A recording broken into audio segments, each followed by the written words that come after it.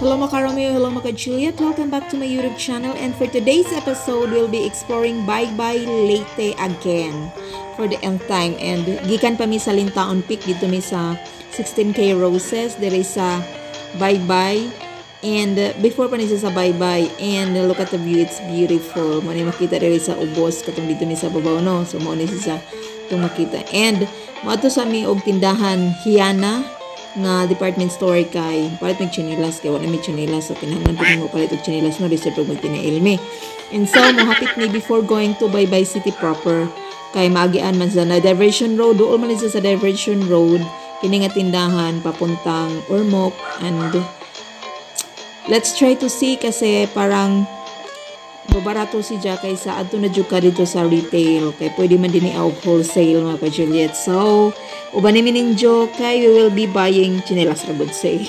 Chinelas ra good na ipanghambog di bitaw kay gusto pag magtiniil ta so uban ni ninjo sa among lakaw karon diri sa bye bye Leyte. Tara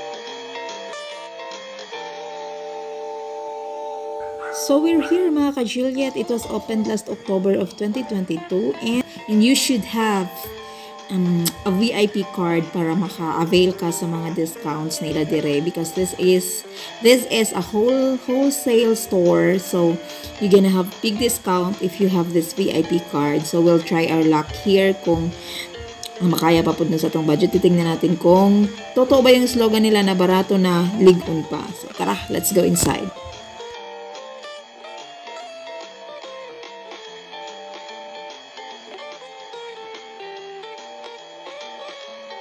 This is our second time and theirs is their first.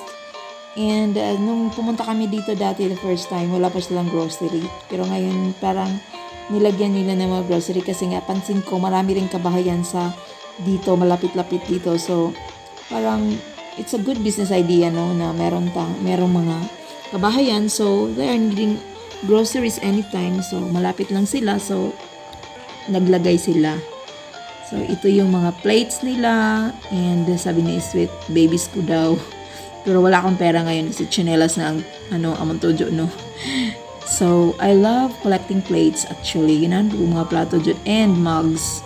Umpot nga no, magka-tart man doon ang tanaw basta na yung mga mugs. So, di laman ta diha labay sa laman ta kay dire dito sa mga chinelas kay tiniil po tanig kita mag-adyo ani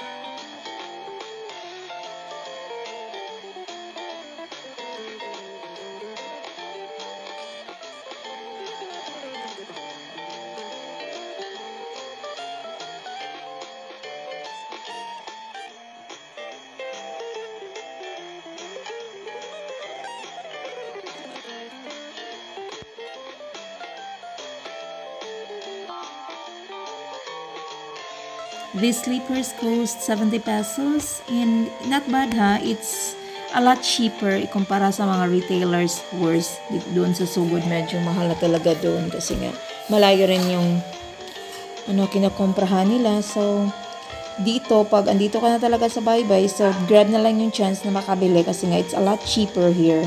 Pwede you just love to flex this bracelet. Salamat sis Pai. I'm enjoying wearing it and I'm loving it we have also this toys variety of toy toy cars for kids. Ang daming mapagpilian. And it's a lot cheaper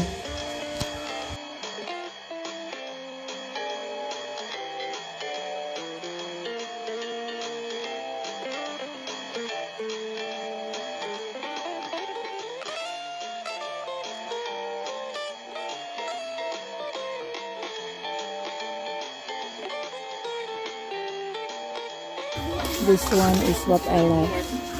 How much? 22. This costs 22 pesos.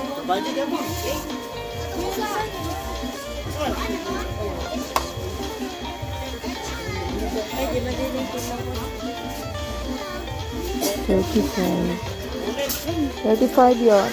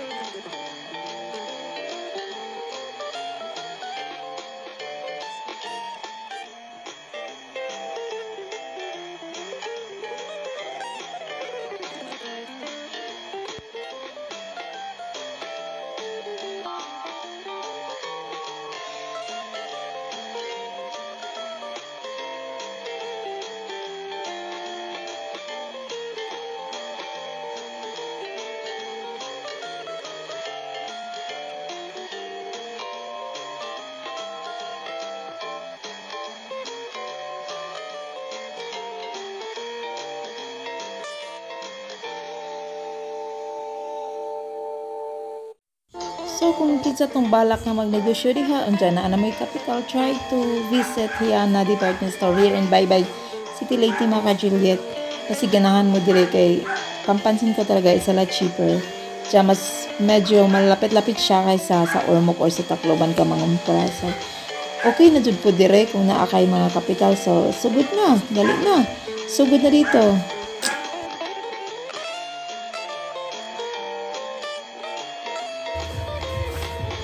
Ikaw tanaw may marong dililig unto din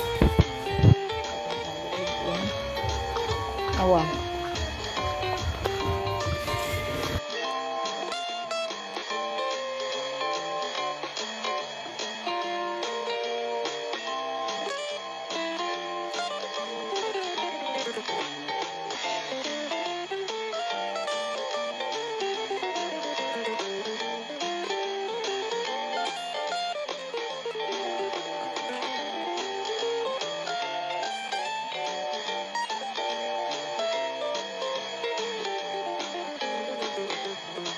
Ako na huna sa may amo ba ng palito ng silhig or daily ba or manilhig ba kami or di na lang manilhig. Points?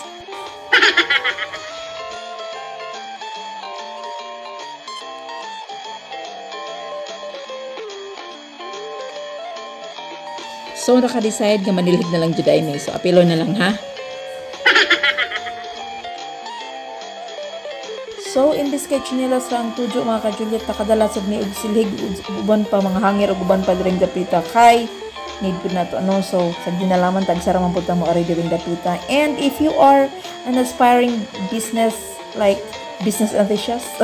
bitaw kung mag-abli ka og business na para buhol bitaw mga tinda bitinda bisag unsa. So you can try to check Rihanna department store here in Baybay City Leyte. Minto dito. Ini para ormok, ini para ba- takluban.